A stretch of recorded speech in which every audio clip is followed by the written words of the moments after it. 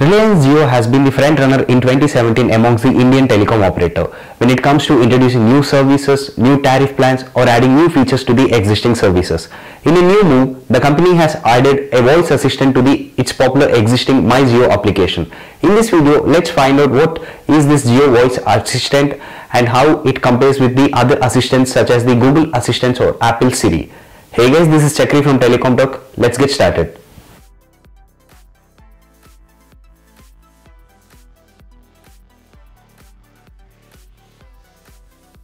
Like I stated, Reliance Jio has added a new voice assistant to its popular My application, and it is dubbed as Hello Jio, an interesting name nonetheless.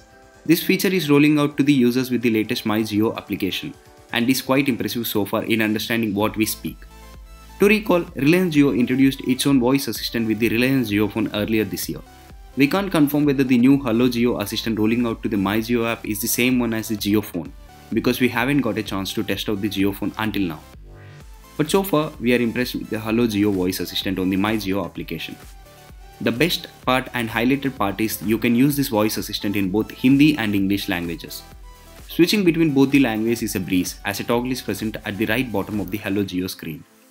The Hello Jio voice assistant can be accessed from My Jio app home screen itself. After updating your My Jio application to the latest version, you can see a mic option at the top right corner besides the Jio apps menu. Clicking on that mic option will take you to the Hello Jio voice assistant home screen. This voice assistant from Reliance Jio doesn't require any additional voice training like the Google Assistant. Sadly, there is no way to activate the voice assistant with your voice, as whenever you need to use it, you have to enable it manually. To make the things more straightforward and easier, Jio is giving a floating icon with Jio written on it onto your home screen. Pressing it will take you to the Hello Jio Assistant screen. Now let's move on to the significant points of a voice assistant. What actions does it perform? Well, most of the actions which can be performed by Hello Jio Assistant are limited to just my app, my Jio application related or even the Jio, your Jio account related. For example, you can ask the assistant to recharge your number as recharge my number, which takes you to the Jio tariff plan selection page. The sad part, however, is that when you tell a recharge plan, it will still take you to the plan selection page. For example, if you ask the assistant to recharge with the rupees 459 plan, it just doesn't take you directly to the payment page. This is understandable, as it is programmed to perform just a set of tasks unlike Google Assistant or Apple Siri. Moving on, you can ask Hello Jio Assistant to check out how many SMS you sent out this week, what is the data balance, and other Jio account related queries. It can even perform tasks such as opening certain apps such as YouTube, MyJio, Jio Music, etc. You can even ask the Hello Jio voice assistant to make voice calls, send an SMS, play music from Jio Music application, etc.